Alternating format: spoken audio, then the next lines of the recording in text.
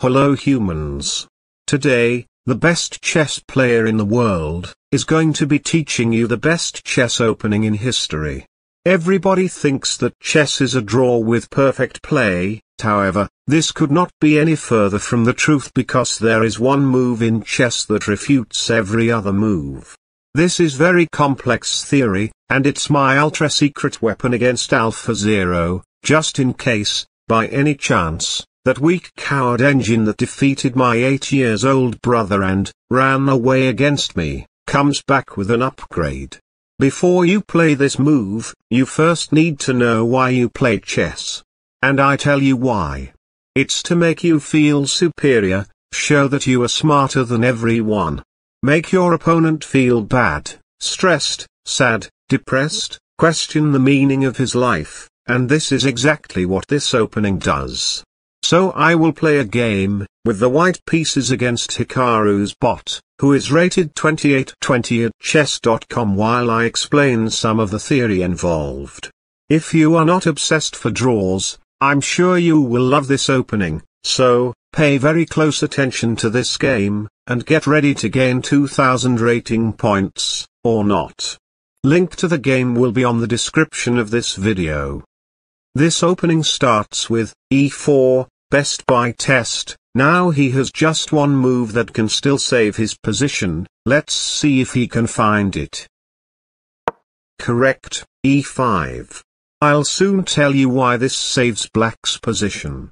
Now here it comes, the brilliant move, king to e2, exclamation point.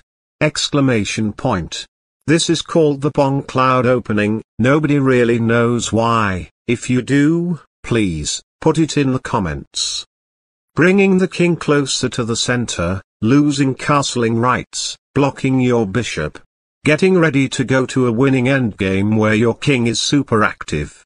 At this point your opponent is already breaking out in a cold sweat and completely out of theory because he only knows how to play the Ruy Lopez. Make sure to play this move instantly so there is no doubt to him it was an intentional move. Black now can save the game by playing king to e7. And I am yet to crack this position.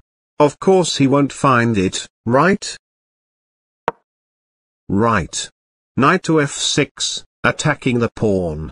What black will now try to do is bring his knights into the game, break into the center with d5, and checkmate white. All you have to do, is not allow that, and win the game. Now let's play knight to c3, defending the pawn.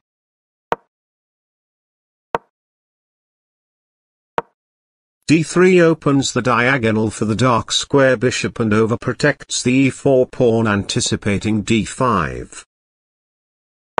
d5.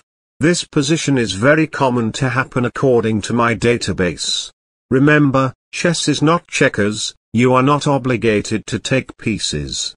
Do not take this pawn on d5, instead, let's play bishop to g5, pinning the knight. Black now has three main moves which is, d takes e4, knight to d4 check and d4. Let's see which one will he choose. Aha! d takes e4, he chooses to open up the position, good move.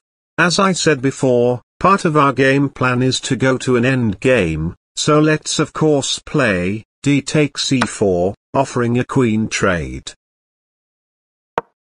Bishop to d6. I guess he doesn't want a queen trade.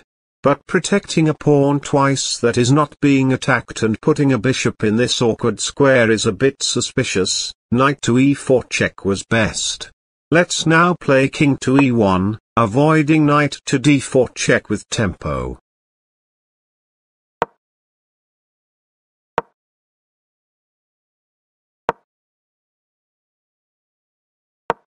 Isn't this opening great? All of my pieces but my b-knight are perfectly placed in their starting squares lol. My opponent is probably dying of confusion and mental distress. Knight back to f6, what a coward, f5 was best. Time to start developing my pieces properly now.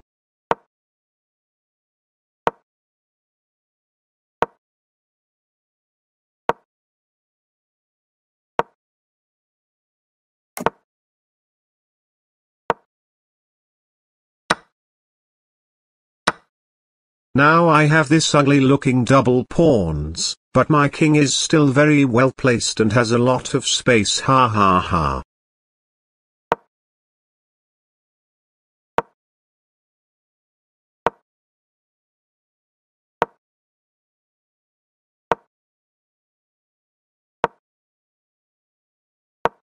g6 does absolutely nothing, it's clear that black doesn't know what to do. Let's start pushing our pawns and improve our position.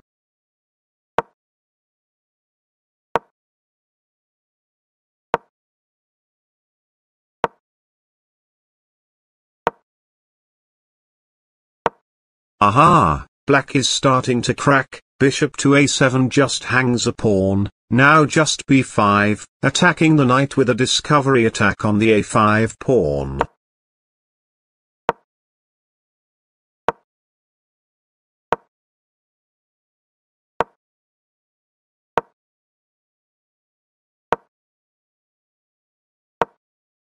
Bishop to b6.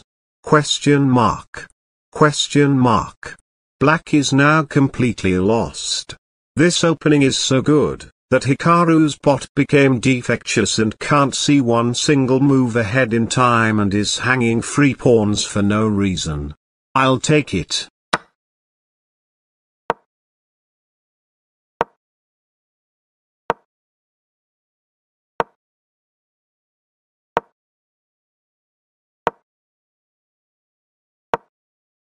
King to g7 allows me to play knight to d4, attacking the queen and the bishop which ends the game quicker. Thank you.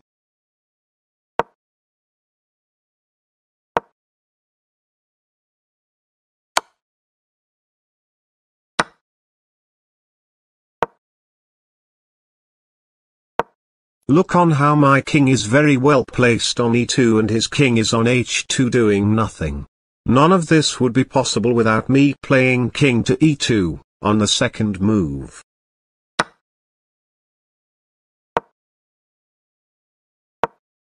a5 is not a free pawn, I just want to distract the bishop from b6 in order to win the e6 pawn in the future.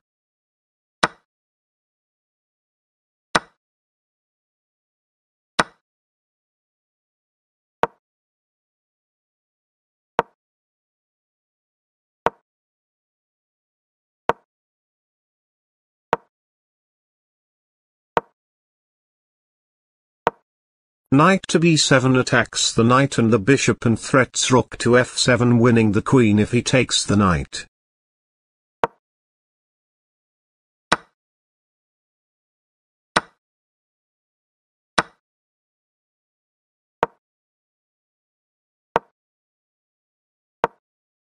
Mate in 8 is now unavoidable, and you are free to pause the video to try and find while I give no seconds to think about it.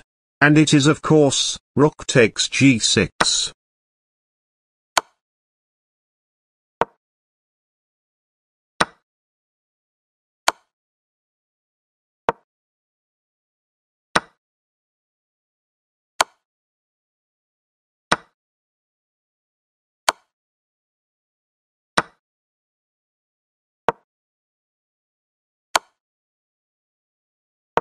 Before checkmate, let me quote a phrase about the Bong Cloud from Tolkien. The famous author of The Lord of the Chess. Quote. Three openings for the weak engines, under the sky. 7. For the Grand Masters, in their hall of mistakes. 9. For the mortal men, doomed to blunder. 1. For the dark fish, on his dark board, in the land of chess, where the shadows lie. One move to rule them all, one move to find them, one move to bring them all, in the land of chess, where the shadows lie. End of quote. Check, and, mate. Congratulations, you are now Bong Cloud expert, although I would need 1 trillion years to teach 1% of what I know about this opening.